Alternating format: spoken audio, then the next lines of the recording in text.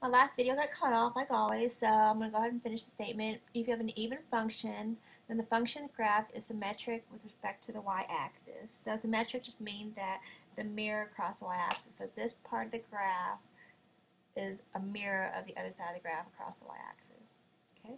Let's look at f of x equals x to the third power and determine whether it's even or odd or neither by uh, the method we did in example 2. Then we'll put in the negative x there. This is what happens. So I have this here. And that gives me negative x to the third. So I look at the original function and this function, it looks like it just changed its sign. So it's an odd function. Now, if I were to go ahead and graph this function by making a table, this is what it would look like, something like this. And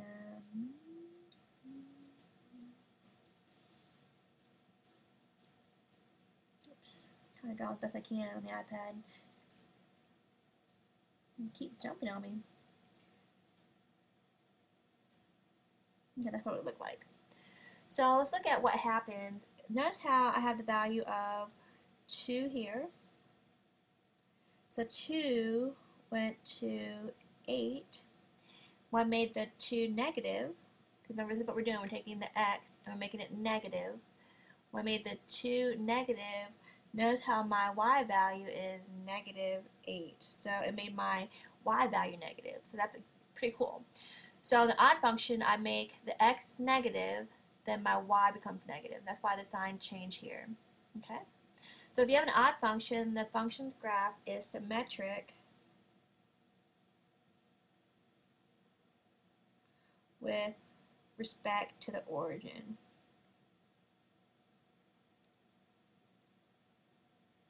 So that means that I look at this and the origin's right here. If I look at that, symmetric means that it's a mirror across the origin. Here's the origin. And then the mirror would be the reflection. There's the other point right there. Okay. We'll talk more about odd and even functions when we get to chapter 3, but I want you to be able to determine whether a function is even or odd by either plugging in the negative x and looking at the function um, for the most part. Looks like it's something called a piecewise function, and um, piecewise function is when you have a function that has multiple parts in it. So let me give you an example. A cell phone company offers the following plan. It costs you $20 per month to buy 60 minutes, and additional time costs 40 cents per minute. So what I have here is a function. The cost of your cell phone is based on how much uh, minutes you use or how much time you use on the phone. The cost is going to equal $20. So it's going to be $20 if you talk between 0 and 60 minutes. So between 0 and 60 minutes. So the time is between 0 and 60, you're going to just pay $20. That's your function. That's it's going to cost. It's going to cost you $20 plus 40 cents per minute. But that's not 40 cents, that's 4 cents. 40 cents. If you talk more than um, or additional time, more than 60 minutes. So any additional time beyond 60 minutes can cost you 40 cents a minute. So you don't want to get double charged there. So they, they want to look at your time after you use the first 60 minutes. We can pay 40 cents for any additional minutes over 60. So if you use 61 minutes, you're going to pay 61 minus 60, which is 1. You pay one additional minute, and then that would be times 40 cents. That's what this represents, at any minutes um, more than 60. Okay, And that's only true if t is greater than 60. So what we have here is your cost is going to be constant. Constant means it's not going to change. It's going to be constantly $20 as long as you're between 0 to 60 minutes. So that's what this is representing here. It costs me constant at 20. Once you hit um, more than 60 minutes, that's when your cost can go up, and that's represented right here. A function that's defined by two or more equations over a specified domain called a piecewise function. And one of the most one of the topics that I have to cover in this course is our piecewise functions. That's going to definitely be on your final exam. Okay. Use a function that describes the cell phone plan above to find and interpret each of the following. Cost of 30. Well, if you have cost of 30, time is 30 minutes, you have two options. You either use this option up here or here. That 30 is your t-value, and 30 is going to represent one of these values here. It's going to fit in one of these domains. 30 is between 0 and 60, so I'm going to use this function right here, and it's just going to be $20. Which should make sense. If I only use 30 minutes, it should only cost me $20. Now, what is the cost if, you know, it was A, what is the cost is if it's 100 minutes? Well, your t-value is 100, so 100 is definitely greater than 60, so I have to use this function right here. So the cost for 100 minutes is going to be $20 plus 40 cents times 100 minus 60. So it's going to be 20 plus 40 cents times 40. That, what that means is if you spend, if you use 100 minutes, you've already paid for the first 60 minutes and that $20. You're going to pay um, 40 cents for each additional minute above the 60, that's the 40 minutes. That's where the 40 comes from. And that's why we have to do 100 minus 60. Okay. So when I do that, um, I get 20 plus 16, and I get 36. So if you use 100 minutes, will cost you $36 and if you use 30 minutes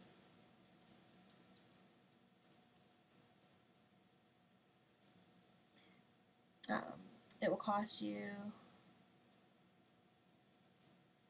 $20 okay so on our own go ahead and do um, A and B real quickly and figure out which function you have to use then we'll go ahead and move on to the next topic Okay, so if you use 40 minutes, it's going to cost you just $20, and if you use 80 minutes, it's going to cost you $28. I didn't write sentence out for those, but you could um, on the test if you needed to. Okay, so we're still on the same topic. I said next topic, really around the same topic, piecewise function, and this is what's going to be on your um, your exam for sure, and on your final exam, have one like just like this. So make sure you know how to do this problem. Graph the piecewise function defined by f of x equals x plus 2 if x is less than or equal to 1, and f of x equals 4 if x is greater than or equal to 1. A couple ways to do this, um, and I'll show you one way today, and then later on throughout the semester you can find uh, maybe a quick way to do it. What I'm going to do is I'm going to go ahead and uh, make a table for each of these separate piecewise functions. Okay, so I'm going to make a table. I'm going to make a table for the first function. The first function is x, f of x equals x plus 2, and that if x is less than or equal to 1. So I'll put that little caveat there. We'll get some ordered pairs. And then the second function is f of x equals 4. Get order pairs there. And this one is x has to be greater than 1. So what I'm going to do, I'm going to go ahead and start with 1 here. And I get them order pairs. I keep getting the equal sign there. Equal 1 plus 2, and I get 3, so I get 1, 3, 2, oh, less than 1 would not be 2. Less than 1 would be like 0.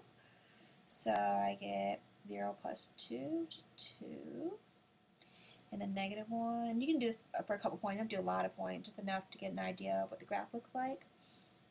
Negative 1, 1, and negative 2, negative 1 plus negative 2 is uh, negative 2, comma, or I think I did something wrong here. Oh, I wrote the wrong number in there. Put a negative 2 in there. Negative 2 plus 2 is 0. Okay, and then I keep going, etc. Now here I have, I'm going to, even though the x has to be greater than 1 for this function right here, I'm still going to use 1. But I'll make sure it's an open circle. This one's going to be a closed circle.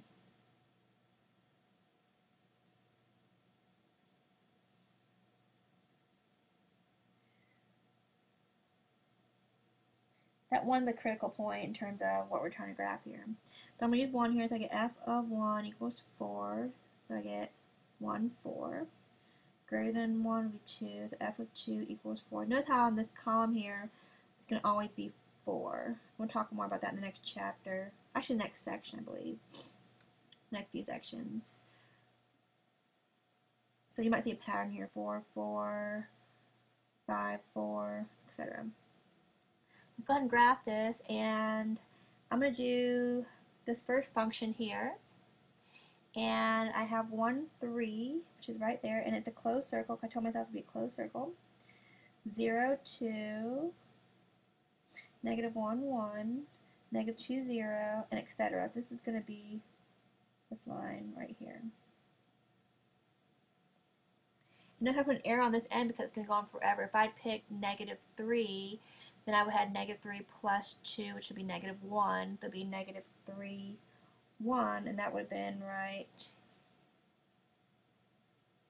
Uh, did I do that math right? Negative 3, negative 1. And that would be right here. Negative 3, negative 1. So my line's a little off. Let me go and redraw that then. Okay, so I have erased erase A negative 3, negative 1 right there. So I'll just a little off on my line there. Okay. And in the other graph here, I have open circle at 1, 4. So here's 1, 4, open circle. Then I have 2, 4, which is right here, 3, 4, 4, 4, 5, 4, and you notice how it goes on forever that way. Piecewise function knows how there's two parts to that function. And it's very important that you have um, an open circle for here, for the second part, this function right here, right here, x is greater than 1. We don't want to include the 1. Greater than 1 would be right here, and here, and here, and here, but not at 1 right there. Oh, did I leave my video there? Let's see if I can get back there. There we go. Okay, some questions here. Is it a function? And the answer is yes, because if I put a vertical line up and down that never touches more than one point in the graph, even at this line right here, it touches just this point right there. So yes. Is it continuous? The answer is no, because it actually does not continue right here. What is the range? the lowest point for y is down here, and it goes on forever, so it's negative infinity, and it goes all the way up to 3. We're going to include the 3. This is this is a symbol for or 4. And we're going to include the number 4. So there's the 4 there. Y could be 4. What is it increasing? Um, it is increasing from here all the way up to here. So it's going to go from negative infinity all the way to 1. We're going to close that bracket. Because, again, it's increasing from here to here. And what x value does that happen? It happens from negative infinity all the way to 1. The bracket there. When is it constant? It's constant from here to here. So the x values are from 1 to infinity. And um, actually, I made a mistake here. When increasing, remember we talked about how whenever we talk about increasing and decreasing, we never include the endpoints there. Because at 1, it's increasing this side, but not on the other side of 1. So hopefully you caught my mistake. And when is it constant from here to here? So from 1 to infinity. And we do parentheses around there. So on your own, let's go ahead and try this problem here. I'm going to go ahead and pause the video and then I'm going to have you check your answer. Okay, so I went and the function after I made the table. And I made the table very similar to I did the last example, example 4. And um, again, where everything is critical is at the negative 1, when x is negative 1. So when x is negative 1 here, I had a closed circle up here because in the original um, problem, I have less than or equal to negative 1. That included the negative 1 when uh, the y value is 3. So there's that graph right there. And then the other um, one had x greater than negative 1, so that's this graph right here. Okay. If you have any questions, make sure you email me, and I'm going to go ahead and stop the video. And this is the end of section uh, 2.2 uh, basic or more on functions and their graphs.